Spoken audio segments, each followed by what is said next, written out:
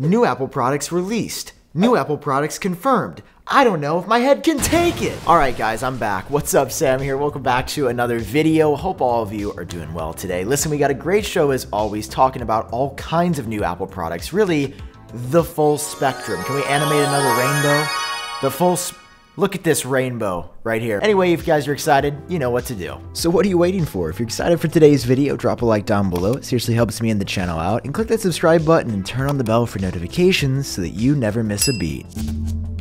And of course, guys, because it's Tuesday, there's a new episode of Genius Bar out. It is such a good episode this week. We go absolutely bonkers. So if you want to see some more casual tech talk between me and Jon Prosser and just about our lives, learn at the link down below. All right, want to start off by talking about what actually came out because I know we need to get that endorphin raised. We've been a bit low in the past couple weeks. And then we're going to talk about what's coming, what's been confirmed more specifically for Apple's September event. The only time we've gotten Apple hardware this year was in April. One month, we've seen hardware. I don't remember a year where we've ever seen this before, and it's very clearly because the pandemic has disrupted things. That's fine, let's keep people safe. Also, they've been doing these mini releases though, every two or three weeks, generally on a Tuesday, which is today. In the past, we've gotten some new Apple Watch bands or iPhone cases, most notably uh, the Apple MagSafe battery pack, which is actually a pretty good product. I, have been enjoying mine and, and I actually think it's pretty neat. Which brings us to today where I think Apple's continuing that trend, but they're, they're getting closer because we've gotten some bigger accessory updates. First of all, some new stuff for Apple's Mac Pro. Now listen, I know a lot of you guys that are watching this are too poor to afford the Mac Pro, so you can just skip this part of the video. And by that I mean I'm too poor to afford the Mac Pro, but you know, you could just be Marques Brownlee, who has literally 15 of these and Pro Display XDRs at his studio. I don't know how the guy does it. Congrats, Marques, you're wild. Anyway, when Apple announced it, everybody was blown away that this was a modular Mac because modular and the Mac don't go together. You can't ever customize a Mac. They're very hard to repair. So when we heard about this, it was like, well, what's the catch? Well, really nothing because Apple released a number of modules with the Mac Pro, but we essentially dropped off. All of last year, pretty much nothing. All of this year, pretty much nothing. And until today, when we got some new AMD Radeon Pro options. So you can go on Apple's website and see what they're saucing out this time. There are three new options and they're all pretty pricey. First up is the Radeon Pro 6800X MPX module. That's 2800 bucks. A little bit more power will get you the Radeon Pro W6800X Duo MPX module. That's five grand, so it saves you a little bit of money rather than buying two of those separately. And finally, if you want to go all out for six grand, it's the W6900X. Now, Apple's also released something a bit more accessible today, which are their new Magic accessories. So these shipped with the new iMac, the M1. They were exclusive. This is the more rounded keyboard with the lock button or Touch ID, the slightly tweaked design-wise Magic Mouse with these color match strips on the bottom. And you would think Apple would release all the colors. We can get the colors. Keeps in. Come on, tell me there's hope.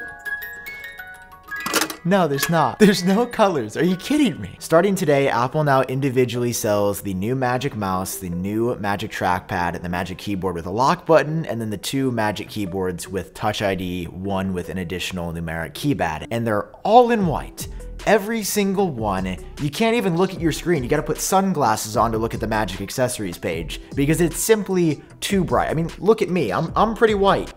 And this I stand nothing to the page. Now you might look at this page and say three keyboards, why are there three different magic keyboards? It's pretty confusing. There's one like this that just has the lock button. That's the one that I bought on my iMac because I didn't want to spend extra money. And then there's two more with Touch ID. This is compatible with all Macs.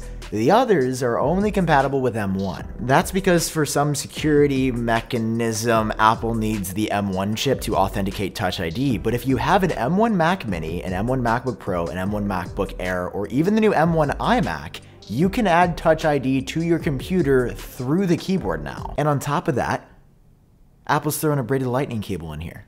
All right. I wish they were sold separately. They're not, but yeah, technically, I mean, I don't know if any of you are super fans enough to do this, but you can pay 79 bucks for the mouse and you get a free free braided lightning cable on the inside. And I appreciate that for what you're paying for these, Apple has thrown in a nicer lightning cable rather than the standard one that used to come with the old accessories. So some minor updates for Magic accessories, but you could unlock some crazy cool Touch ID function for any M1 Mac if you want to now. All that stuff is out today. What about what's coming tomorrow. Well, not literally, but in the future, and by the future I mean next month, every year around this time we get the same report. It shows what Apple's preparing to release, and it's always spot on. These products always end up coming out because what this report is, is a look into Apple's recent regulatory approvals in Russia. Super specific, super niche, and that's always how you know it's gonna be a juicy little leak. See, there's this regulatory entity in Russia called the Eurasian Economic Commission, and we call them the EEC for short, the EC. The EC always does a great job of accidentally revealing what Apple's up to. But anyway, this happens every year. This French website by the name of Consomac, who does a great job at obtaining these filings, shows us what Apple has just filed for sales and advertising approval for in Russia. Now, it's not just Russia. They're doing this in a lot of places, but it leaks out in Russia. And it just happened again. We just got a look at what Apple is about to release. And normally, we just see maybe like an iPad or two Apple Watches, and iPhones. This year, we've got some a little bit different. We got some new Apple Watch models, which is expected. We also got some new Mac models filed in August. Okay, so they filed Mac models in August. What, what does that mean? Why are you bringing that up? Well, let's just take a look at what happened last year with the EEC. You see, in late August of 2020, that's when the EEC published filings about new Apple Watch and new iPad models. And what did we get directly in September? New Apple Watches and iPads. And then iPhone iPhones are always filed long, long in the past. That's no surprise. We know we're getting new iPhones every year. That's what we got in October. But then also in October, on the day the iPhone 12 was announced in 2020, Apple filed with the EC for new Mac models. And at the time we knew these were going to be Apple Silicon, those came out in November. So what I'm saying is this. Last year, Apple filed the Apple Watch and the Mac models that were coming at different times because the watches and iPads came in September and the Macs came in November.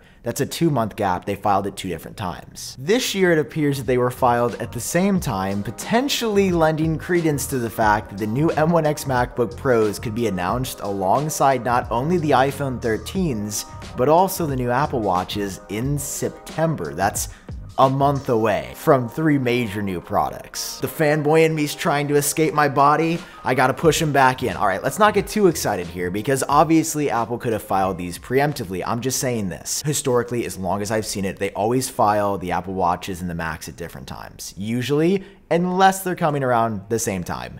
September event, iPhone, Apple Watch, and Mac you guys may have heard it here first. This is confirmation that Apple is bringing out some new Mac models this year, confirmation that Apple is bringing out new Apple Watches, but no mention of the iPads in these. So I wouldn't be super gung ho on, on new iPads coming. I'm surprised we haven't seen any filings yet. So iPad not technically confirmed yet. So with that, it is Apple season. I tweeted this the other day. Follow me on Twitter at iUpdate in case you haven't already. Listen, this is so absolutely exciting. We are here. We've made it through the drought and the fall is going to be absolutely bonkers. So drop a like if you enjoyed this video or learned something new. Hit subscribe so you're always staying up to date. I've been Sam. Hope you're doing well. Big hugs. And I'll talk to you guys in the next one. Peace.